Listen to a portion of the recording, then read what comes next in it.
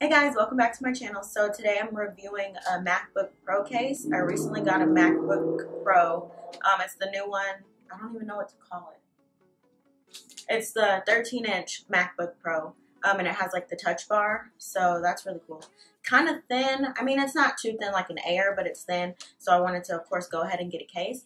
So I went to Amazon and it took me a while. I looked through a lot of reviews and a lot of different brands but I found a case that I like and so far I haven't had any issues with it so I wanted to review it for you guys because I know when I was looking for cases it was hard and I didn't know what brand to go with because you know some people will have issues or like their case will crack and shipment whatever so it just scares me and I feel like everything that I find is gonna suck but I just took a leap of faith and I just purchased one and so far I'm satisfied.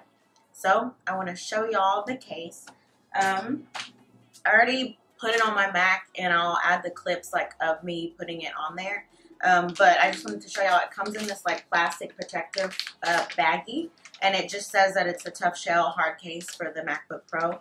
Um, I will say that the brand that I went with to buy my case, it had different options. So for all the different size like MacBook Pros, and you know when you're searching for like a case for your computer, you want to make sure that you're looking at the right model. Like I have a Pro, I don't want to be looking for a case for an Air. So just make sure that you look in like the little description, I guess, of the case when you're searching them up on Amazon. Um, and then once you go to select your case or your style, whatever, it's going to tell you to make sure that you're selecting the right model number. So I have a specific model number. So I found that on my Mac or I looked it up, whatever, and then I made sure that I selected the right one. And then when your um, case ships, it asks you again to confirm, like make sure that you're ordering the right one because um, the company is not responsible for you getting the wrong case.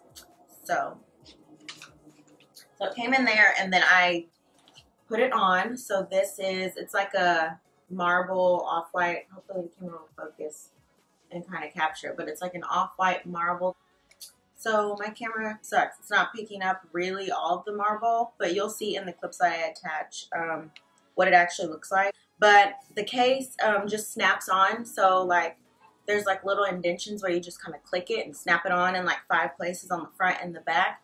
And then they did send a bottom part to the case. So it's just um, like air venting, I'm assuming, so it doesn't overheat. And it has these little like table prongs for it to sit up um, so your case doesn't have to just rest on the counter or whatever and get scratched on the bottom. I didn't get a keypad cover. Um, some brands I was looking at did include that, but I figured I don't really need that. It'll get dirty. Um, and some of them were like reviews that I looked at were saying like the lettering on the keypad cover wasn't matching up with the keypad. So it was just like unnecessary. I really don't need it. Uh, so I just didn't get it. So I just got the case itself, like the top part and the bottom part. But I also realized when I tried to upload a video that this computer is different. There's two little ports right here. Um, probably can't see it, but there's two little ports for an adapter.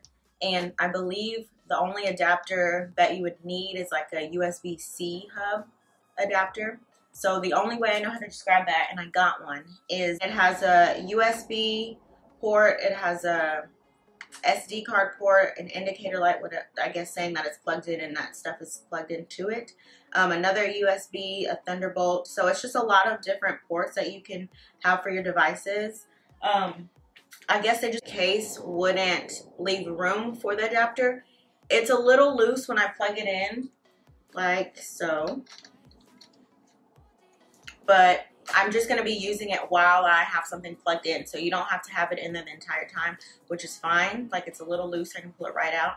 So if I needed to, I could take the bottom of the case off, but it's fine. I don't really care that much. So if that's something that you're going to be concerned about, or if you get a bigger um, USB-C hub port, whatever, then you might want to reconsider like your case or having the bottom part because the bigger ones are going to be harder to plug in. I haven't had any problems with it breaking or like not adding up to like the alignment of the computer itself. So everything snapped into place for me. I'm satisfied. I haven't had any issues with the case. It feels good.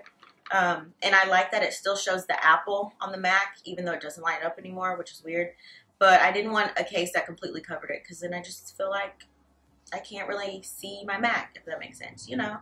So I'm glad that the marble cutout still shows the apple. And then the bottom, it's just simple. So I like it. They had a lot of different designs that you can choose from. Um, and it got to me really fast because I have Prime, so it took two days. I don't know how long normal shipping is, probably three to five business days, but you won't have to wait very long if you're unboxing your new Mac and you're worried that you're going to mess it up. It'll get to you really quickly, so you shouldn't have to worry about that. I definitely recommend this brand. I will attach the brand for both the case and the USB attachment in the description box so you guys can check those out. Thank y'all for watching.